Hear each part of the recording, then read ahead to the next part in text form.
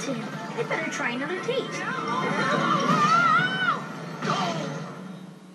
Huh? Mr. Mint. Eh, but Mister's too formal. Just call me Mint. And what's your name? uh, Jib. Uh, Jib, huh?